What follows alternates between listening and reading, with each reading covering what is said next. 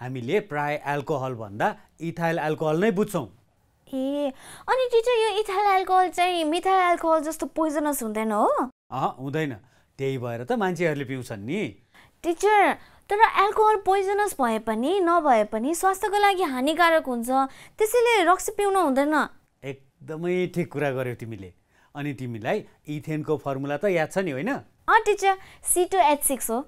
हो। अब मिथेनलाई methyl alcohol बनाउँदा भने जस्तै इथेनको एउटा हाइड्रोजन हटाउने अनि ओएच एड गर्ने। भनेपछि सी टू एच फाइभमा ओएच जोड्ने होइन त? भेरी गुड हो अब ethyl एल्कोहलको formula C two H five O बन्छ अनि यसको स्ट्रक्चर यस्तो हुन्छ। ल यता हेर त।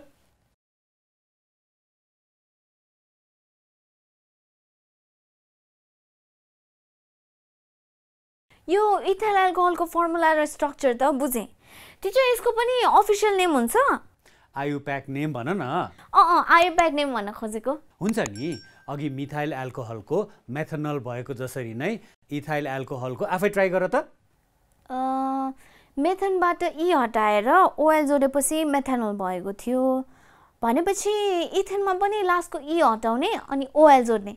भनेपछि एथानोल बन्यो। मिल्यो त टिचर? स्याबास। मिलिहाल्यो नि। अनि टिचर यो इथाइल एल्कोहल पिउनको लागि मात्रै हो कि अरू पनि युजेसहरू छन्?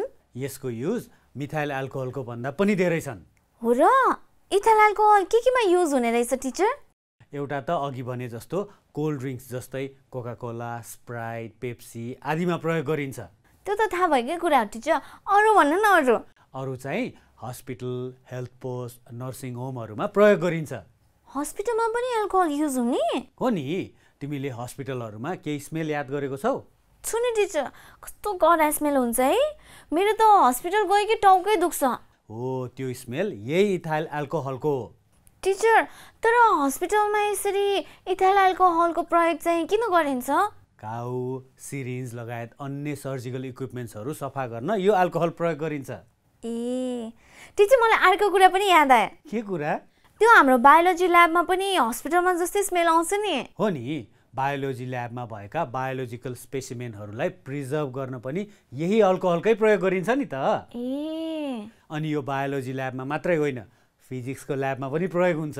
ल फिजिक्सको ल्याबमा चाहिँ केले प्रिजर्भ गर्न प्रयोग हुने टिचर? प्रिजर्भ गर्न होइन फिजिक्स ल्याबमा भएको थर्मोमिटर छ नि हो त्यसमा यही इथाइल अल्कोहल प्रयोग गरिएको हुन्छ। त्यही भएर पो हो त्यो फिजिक्स ल्याबमा भएको थर्मोमिटरलाई टिचरले एल्कोहोलिक थर्मोमिटर भन्ने।